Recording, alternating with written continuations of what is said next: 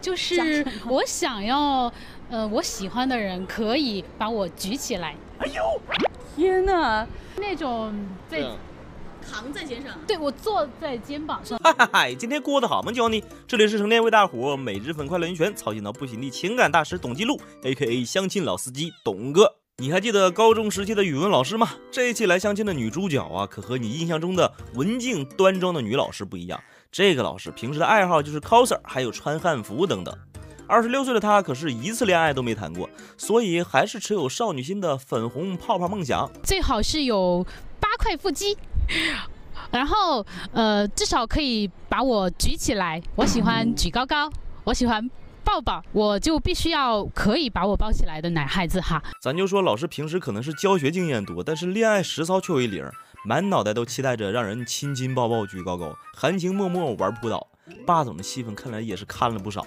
那咋说，老师也是一百来斤的人呢，能给你举高高扛大顶的，估计也得是个高大威猛男。哎，节目组啊，确实给找了个大高个，但是呢，却是个小奶狗。是 DK 制服来参加的这个节目，因为我这也是我平时的爱好之一，平时比较喜欢参加漫展以及汉服活动。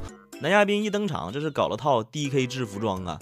咱别说这打眼哈，董哥还以为是林俊杰走错节目了呢。奶狗呢比语文老师是小了三岁，但是恋爱却是谈了四次啊，感情还是非常丰富的。我是计划在三十岁之前不要结婚，因为我觉得哈，在人在二十多岁的时候还不够成熟，要是结婚的话会过早的定下自己的一生，还可能出现更多的问题。如果三十岁之前有那种喜有那种。有很喜欢我的女生向我提出了结婚的要求，我首先还是会劝她冷静一下，毕竟人还年轻，不能不要这么冲动。这听起来奶狗是有点玩咖的意思呀，不知道语文老师能不能 hold 得住。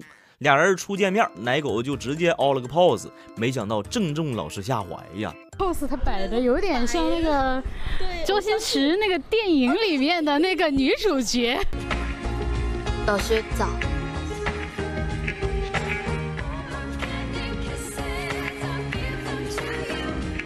老师这下子戏份也来了，现场还原经典画面。你会吗？不会。所以说，啊，女主角来下矮一点，你太高了，还还还矮一点。好，差不多就是这个位置了。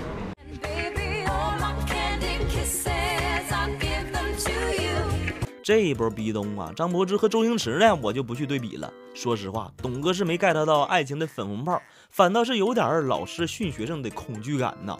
这波互动是给语文老师搞心动了，提出加戏加码。那我想要再加一个码，就是我想要，呃，我喜欢的人可以把我举起来。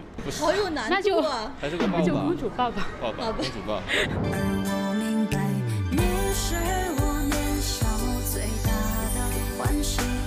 这小林俊杰呢？这老大高个子，女老师你还要扛肩头举高高，你是要上天呢，还是要换灯泡啊？那得亏小伙子挺机智啊，一个公主抱就让老师乐开了花。二人互动出火花来了，坐下来聊聊情感大事。哦，那我现在才二十三岁，二十三，你现在二十三，我现在二十六，女大三抱金砖。哎呦，啊，你是很在意年龄吗？年龄这方面不是很在意，只要长得好看就行了。啊，我觉得我应该还是应该还是可以的。对。语文老师呢，就是口才好哈，女大三抱金砖，好在小伙子不介意。没想到老师跟自己的兴趣爱好都一样啊，性格也是活泼乱跳的。小林俊杰是感觉相处没负担，但唠一唠，于老师是有了担忧啊。基本上都是这样，意思就是很多哟。也没有多少呀，我就只谈过四个。呃，就是大学之前你还谈了的？不，大学之后。大学之后。大学之前，大学之大学的时候两个，大学之后两个。哦，嗯。对，是这样。你什么时候毕业的呀？我今年六月毕业。六月毕业你就又谈了两个？短时间内谈那么多恋爱，只会追求不会经营，可是有点渣男的意味啊！这可是会要了姐姐老命的。这个这个方面有一些问题，他说他只。擅长追求，不擅长维维持，所以两个不成熟的人怎么去维持这段感情呢？不愧是人民教师啊，抓的重点也是一针见血。好在小奶狗呢也是觉悟挺快，自己总结的也到位。感情的时候一定要要考虑清楚，不要随随便便就这样坠入爱河，这样对两就是对两个人的不负责任。所以和红娘沟通了女方的顾忌之后呢，小伙是主动出击，邀请女老师和自己骑脚踏车。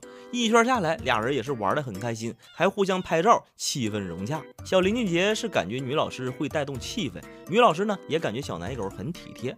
红娘看二人是有戏呀，趁热打铁，让两人把现有的问题一次性说清楚。热恋期过后呢，就是平淡，对吧？那如果说热恋期过了，变得平淡了，怎么办呢？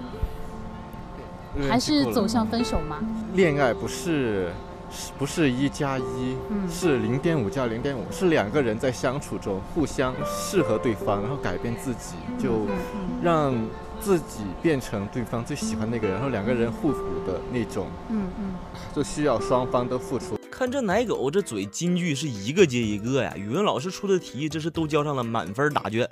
奶狗呢也直接摊牌了，自己呢不想在三十岁之前结婚。孩子不经常看我，他为什么法？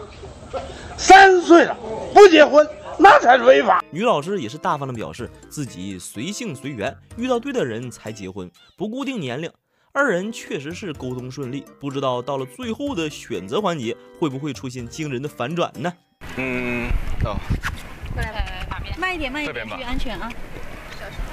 小心，小心，是。嗯，你坐，嗯，可以吗？可以吗？可以吗？有点不行，我感觉有点。要不要？要不要我搭一下手？三二一。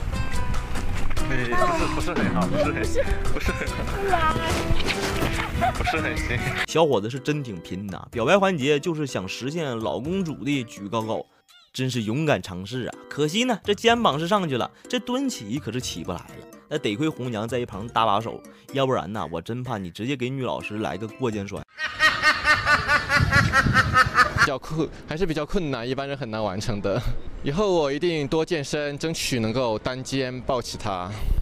看得出来啊，小伙子还挺用心的。虽然没有举高高，但是呢，他又换了个新方式，直接抱起女老师开始转圈圈。本来我就说那就放弃吧，还是安全第一哦，但是呢，时还是蛮感动的。我又感到交流电了。这圆规画了一圈，还能拿不下女老师吗？那有诚意必然会收获真心呢。最后，女老师也是咬了小林俊杰手中糖葫芦，俩人呢牵手成功了。虽然二人互动在外人看起来有些小尴尬，但是呢，双方还是沉浸其中的，真的是 J J 的那首歌唱的那样。我知道